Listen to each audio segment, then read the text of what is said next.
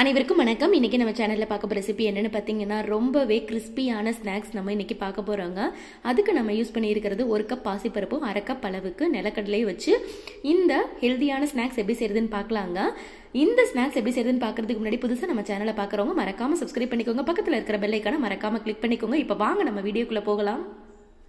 இப்போ இந்த ஸ்நாக்ஸ் செய்யறதுக்கு நான் இன்னைக்கு ஒரு கப் பாசிப்பருப்பை குக்கரில் போட்டு ஒரு அஞ்சு விசில் வச்சு எடுத்திருக்கேங்க. பாசிப்பருப்பு வந்து பார்த்தீங்கன்னா நல்லா மாவு மாதிரி வெந்திருக்கணும். பாசிப்பருப்பை வந்து ஊற வச்சு அரைச்சி செய்கிறத விட இந்த மாதிரி வேக வச்சு செஞ்சிங்கன்னா வேலையும் ஈஸியாக முடிஞ்சிடும் டக்குன்னு நமக்கு வடை வந்து ரெடி ஆயிருங்க. அடுத்து நம்ம அரை கப் நிலக்கடலையை மிக்சி ஜாரில் போட்டு பவுட்ரு பண்ணிக்கலாம். இப்போ மிக்சி ஜாரில் அரை கப் நிலக்கடலை சேர்த்து கொஞ்சம் குறை குறைன்னு அரைச்சி எடுத்துக்கலாங்க. அடுத்து ஒரு மிக்சிங் பவுல் எடுத்துக்கோங்க. அதில் நம்ம வேக வச்ச பச்சை பயிரை நம்ம இதில் சேர்த்துக்கலாங்க. இது கூட நம்ம பவுடர் பண்ணி வச்சுருந்த நிலக்கடலையை நம்ம இதில் சேர்த்துக்கலாம்.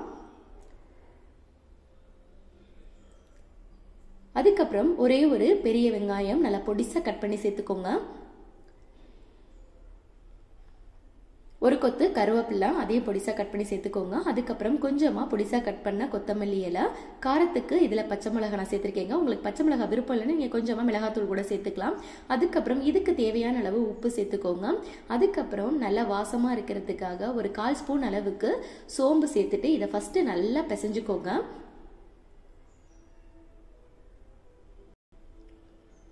இப்போ இதை நல்லா பிசைஞ்சுக்கலாம்.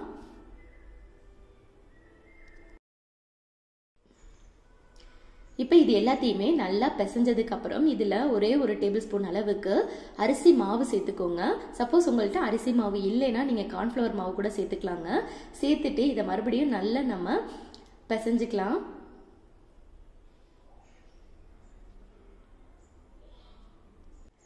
இப்போ அரிசி மாவு சேர்த்துட்டு நல்லா பிசைஞ்சதுக்கப்புறம் இந்த மாதிரி சின்ன சின்ன உருண்டைகளாக எடுத்து நம்ம உருட்டி வடை மாதிரி தட்டிக்கலாங்க. நான் இன்னைக்கு வடை மாதிரி உங்களுக்கு செஞ்சு காமிச்சிருக்கேன். நீங்கள் உங்களுக்கு எந்த மாதிரி ஷேப் வேணுமோ அந்த மாதிரி நீங்கள் செஞ்சுக்கலாங்க. இதை பாலாவும் செஞ்சுக்கலாம் நீங்கள் இப்போ எல்லாத்தையுமே வந்து நான் இந்த மாதிரி வடையாக தட்டி வச்சுட்டேன். நான் எடுத்த பச்சை பயிருக்கு எனக்கு ஆறு வடைகள் வந்துச்சுங்க. இப்போ இதை நம்ம எண்ணெயில் பொறிச்சு எடுத்துக்கலாம். இப்போ இதை பொரிக்கிறதுக்கு எண்ணெய் காஞ்சிருச்சுங்க. எண்ணெய் நல்லா காஞ்சதுக்கப்புறம் அடுப்பை மீடியம் ஃப்ளேமில் வச்சுட்டு நம்ம ஒன்று ஒன்றா போட்டு பொறிச்சு எடுத்துக்கலாங்க. இப்போ இது ஒரு ரெண்டு நிமிஷம் நல்லா வெந்ததுக்கப்புறம் இந்த மாதிரி திருப்பி போட்டுக்கோங்க. திருப்பி போட்டுட்டு நம்ம இதை எடுத்துடலாங்க.